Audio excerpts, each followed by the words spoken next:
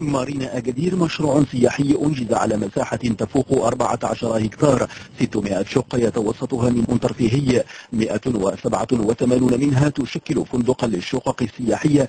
ستديرها مجموعة Atlas Hospitality بعد أن تم التوقيع على اتفاقية في هذا الإطار بين مجموعة Atlas Hospitality المغرب ومجموعة أكوا.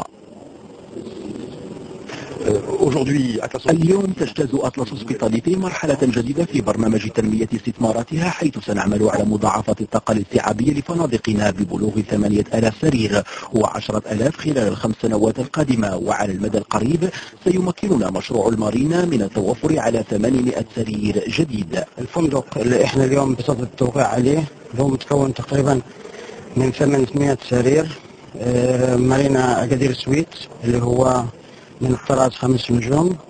وأيضا عندنا الحين المرحله إن شاء الله الرابعة اللي هو متكون من مركز تجاري مهم هو يعتبر ثاني أكبر مركز تجاري في المغرب.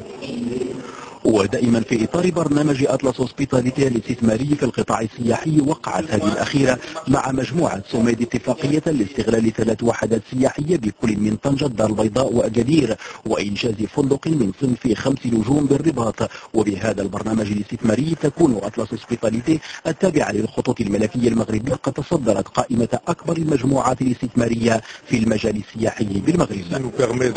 هذه الاتفاقية ستمكننا من المساهمة في تطوير علامة استثمارية وطنية من خلال تمكينها من بنية فندقية مهمة. الشيء الذي سيكون له انعكاس إيجابي على مستوى استغلال وتدبير هذه البنية السياحية. في ظرف حوالي ست سنوات تمكنت أطلس هوسبيتاليتي من الرفع من عدد مؤسساتها الفندقية من 2 إلى 12 وحدة فندقية. وفي برنامجها الاستثماري التوفر على 37 فندقا في أفق 2015